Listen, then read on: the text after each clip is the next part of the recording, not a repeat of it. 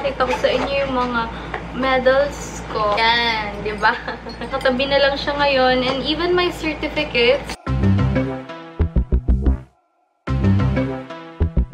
Hi ladies! What's up? It's me, Lady Martin, and welcome back to my channel. Hi guys! Kamusta kayo? I hope everyone is happy and I hope that everybody's having a great day. So, for today's video guys, kung makikita nyo naman sa title, paano maging matalino yung title ko. So, for today's video, tuturuan ko kayo kung paano maging matalino Wow, matalino. Meron naman tayo iba't ibang klase ng katalinuhan. But for today's video, for the sake of this video, um, ang gagawin ko, ang definition ko ng matalino for this video is yung matalino sa school, nag excel sa ACAD. So, ayun yung ibibigay kong tips sa inyo ngayon kung paano maging matalino sa ACADS or sa school or makakuha ng high grades. Bago tayo magpatuloy, gusto ko lang imitahan kayo na mag-subscribe sa YouTube channel ko. Pindutin nyo lang po yan dahil libre lang po ang mag-subscribe at sumali na kayo sa aming growing fandom. So, ayun. So, para sa mga hindi nakakaalam, um, back when I was in elementary, during my high school, college days, elementary days, eh, achiever ako sa school. I am always on the top of the mountain. What? Lagi ako nasa honors, lagi ako nasa top.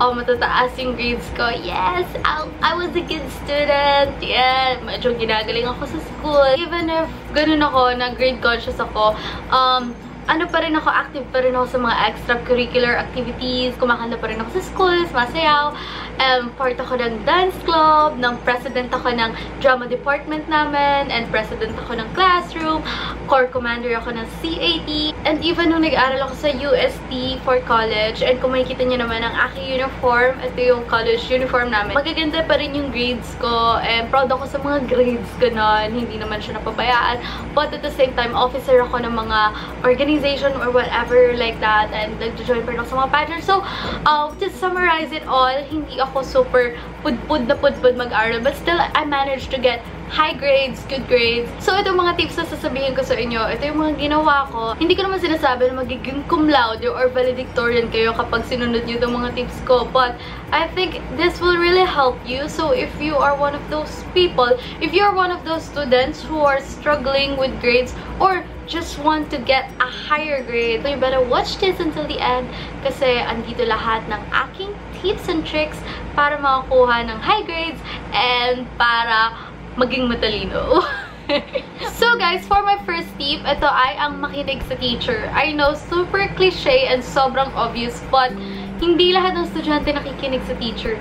Meron akong mga kilala na hindi nakikinig ng lessons, like nakikipagdaldalan during the lessons, or they're doing something else, lumilipad yung utak nila. Pero guys, you have to practice yourself na makinig sa teacher. Lalo na sa mga mahihirap na subjects, like math. Maraming times na nagsasabi yung teacher or yung profs na mga bagay na hindi mo makikita sa libro or kahit saan. And most of the time, lalabas talaga siya sa exam. So, ayun, makinig kayo sa teacher nyo. Hindi nyo yung mga sinasabi ng teacher nyo. Huwag kayo makipagdaldalan. Super cliche ng tip na to, but not everyone is following it. So, for my second tip, it is to make a reviewer. Sobrang nakaka-help na gumagawa ka ng reviewer, lalo na kapag marami kang kailangan i-memorize, uh, formulas, mga terms, ganyan. And based sa study, uh, nabasa ko to before, na mas naaalala ng memory ang uh, kailangan mong tandaan kapag sinusulat mo yung bagay. So, while making a reviewer, hindi ka lang basta gumagawa ng reviewer, but naaaral mo na rin siya, na-memorize mo na rin siya every time na sinusulat mo siya. Yung iba, gumagawa lang sila ng reviewer bago mag-exam, yung long test, ganyan. But, ang ginagawa ko, even kapag quiz, gumagawa na ako para um, yung quiz number 1, 2, 3, 4, kunyari, 4 quizzes yung bago kayo mag-long test. Kapag nakagawa na ako ng reviewer nun, pagdating ng exam, hindi na ako gagawa ulit ng reviewer. Like, pagsasama-samahin ko na lang yung reviewer ko. So, for my third tip, ilagay nyo yung reviewer nyo or yung notebook or book nyo sa ilalim ng una nyo bago kayo matulog. So, if meron kayong quiz the next day, um, ilagay nyo na yun bago kayo matulog so that kapag natutulog kayo, papasok lahat ng pinag-aralan nyo ulit. I don't know, hindi siya scientifically proven. But, yun yung ginagawa ko. And, I don't know, for some unknown reasons, I feel like ume-effect siya. So, ayun, gawin nyo na lang din. Wala rin namang mawawala. Tip number 4, ito ay mag-aral kayo before matulog and right after nyo gumising. Talagang ginagawa ko bago ako matulog, kahit isang beses lang, babasahin ko yung kailangan kong aralin. And paggising ko, um, babasahin ko ulit. May scientific study na nag-prove na mas okay daw, na parang mas okay na mag-aral sa umaga kasi mas fresh yung mind. But, for me, mas okay na aralin mo siya sa gabi and ulitin mo lang sa umaga, mas matatandaan mo. So, for my fifth tip, kapag nahihirapan kayo mag-focus sa pag-aaral nyo, kasi um, usually, di ba, pag uwi tayo from school, ganyan, parang uh, ang hirap simulan mag-aral kasi ang daming distractions, may social media or whatever, may ka-text ka or whatever. Ayun, so ang advice ko, ang tip ko is use the 20-minute focus technique. Um, ginawan ko lang siya ng pangalan, pero same siya ng thought. So, ang gawin mo, mag-set ka ng timer for 20 minutes sa phone mo. So, focus yourself. Um, mamili ka kung anong gusto mong unahin. Just one subject at a time. Kunin mo yung libro mo, magbasa ka for 20 minutes, and huwag kang titigil hanggat hindi pa siya nagjaring. If you do that, kung finocus mo yourself mo ng 20 minutes, hindi mo mamamalaya na focused ka na sa ginagawa mo. And even after 20 minutes, ayaw mo nang tigilan yung 20 minutes and marami ka na nagawa doon sa 20 minutes na yun. You may think that it's just 20 minutes pero mahabang oras na rin yun kung nagbabasa ka. And kapag nag-ring na yung timer mo na 20 minutes, I think, most of the time, you will think na ayaw mo nang tumigil sa ginagawa mo kasi na-build na yung momentum mo. For tip number 6, ito yung mag-ask ka ng question, maging curious ka. I had this friend during in college, um, katabi ko siya, seatmates kami, and nagdi-discuss yung teacher. And yung teacher naman, yan, nagsasabi siya ng mga term theories and whatever. Then, um, I was just taking all the information in. Um, nakikinig lang ako, then nagtitake note and whatever. Then, he asked me, yung seatmate ko, he asked me, bakit kaya ganon? Something like that. He asked me like, bakit ganon? Bakit ganon yung ganito, ganyan-ganyan? Then, I was like, uh, ewan ko, eh, yun yung sinabi ng teacher eh, like that. Then, he replied na, hindi ka ba na-curious kung bakit ganun? Bakit ganun yung sinasabi niya, whatever. Doon ako parang nakapag-isip na, uy, oo nga, no? Bakit parang tinitake in ko lang lahat ng sinasabi ng teacher na parang kung ano lang sabihin niya, yun lang yung sinusulat ko. Like, I just take everything in without even asking why. Bakit? Bakit ganun yung mga bakit ganito, bakit ganyan. Then, doon ko na-realize na it's really important to ask questions to understand everything. So, if you are curious, if you wanna know something, ask questions properly. For tip number 7, record all your scores and compute it. Marami kasi estudyante na hindi nagre-record ng scores, nawawala yung mga exams, nawawala yung mga seat works, assignments, ganyan. But, kung gusto mo talaga mag-excel sa sa studies, gusto maging top or whatever, gusto maging achiever, you really have to record your scores. You cannot improve what you cannot measure. So, kung hindi mo uh, i-record, kung hindi mo i-measure yung bawat quizzes and everything, hindi mo siya may improve. So, for my next tip, um, nabanggit ko na siya kanina, it is to have a goal. Ano bang gusto mong mangyari? Gusto mo bang tumaas grades mo? Namimiligro ka na ba? Kailangan mo na bang pumasa? Or gusto mo makapasok sa top, sa honors? Gusto mo maging dean's lister? Ano bang grade ang kailangan para makasama ka? You have to know that. So, kailangan walang bababa ng 90, 85, like that. So, kailangan mo yung malaman. And, yun, gaya na sabi ko kanina, computer grades, ilang pa ba yung kailangan mo para ma-achieve yung goal mo. Tip number 9, it is to read books. Magbasa ka ng mga books na nakaka-entertain sa'yo. It doesn't really matter kung anong genre yan. Kung romance man yan, entertainment, business books, and whatever. Um, magbasta magbasa ka kasi it really helps you to focus.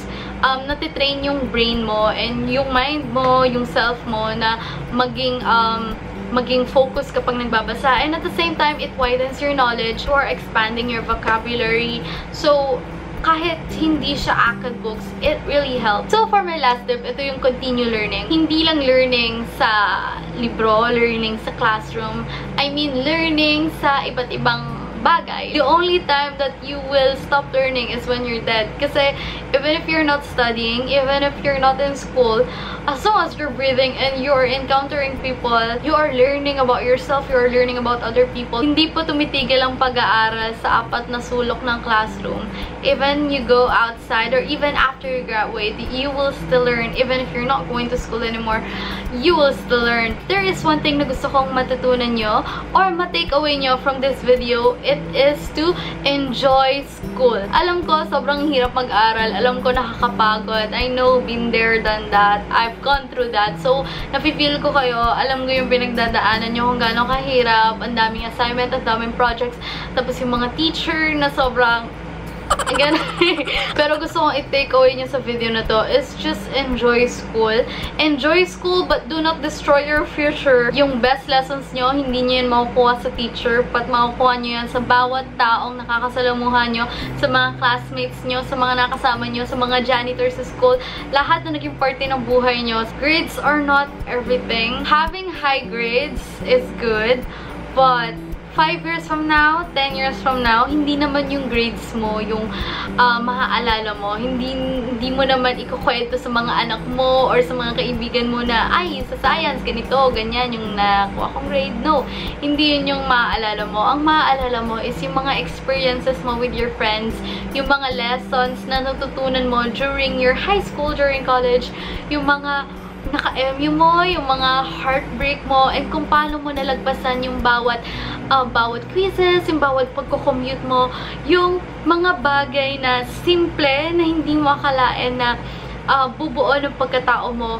after you graduate. Yun talaga yung greatest life lesson na makukuha mo sa school, kung paano makipag kapwa-tao, kung paano rumispeto ng mga prof, ng mga teacher, kung paano i-handle yung sarili mo sa mga panahong hindi ka super okay, your grades won't define you, but your character as a student will. Hindi mo kailangan maging pinakamatalino sa school or pinakamatalino sa classroom mo, but kailangan mo maging mabuting estudyante. Yan lang yung kailangan mong gawin, maging mabuting estudyante. And yung high grades, it's just a bonus.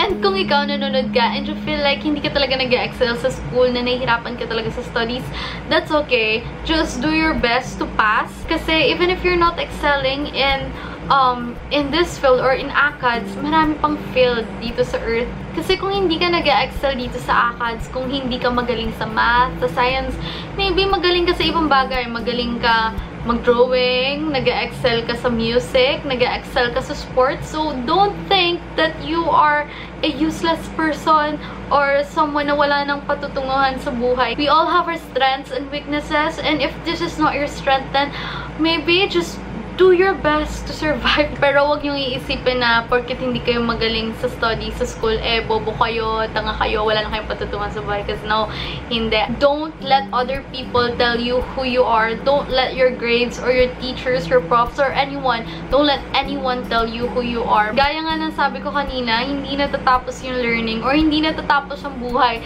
sa apat na sulok ng classroom. Maraming pwedeng mangyari. So, ayun, don't lose hope. And para sa mga nanonood neto na estudyante. Alam ko, mahirap maging student, but mag-aral lang kayo na mag-aral na mabuti. And huwag magpapabaya.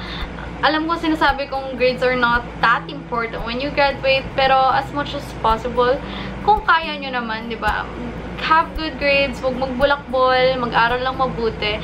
Kasi it's not only for you, but also for your parents na nagpapakahirap na magpaaral sa inyo, na gumagastos, na ang uh, ginagawa ang lahat para mabigay sa inyo yung edukasyon na para sa inyo, ng magandang edukasyon para sa future nyo. So, ayun guys, tatapusin ko na tong video na to dahil I believe sobrang haba na. So, sana nakatulong ako. And if you have any questions, so please don't hesitate to comment down below and like this video kung may natutunan kayo. And please don't forget to subscribe and click the notification bell para ma-notify kayo every time I upload a new video. And kung gusto niyo pa ako makilala personally, please do follow me on my social media accounts at Martin on Instagram and Twitter and at Lady Official for my official Facebook page dahil sumasagot po ako sa akin mga comments, messages kapag hindi ako busy. So, yun guys, sana may natutunan kayo and I hope you like this video and see you on my next one. Bye!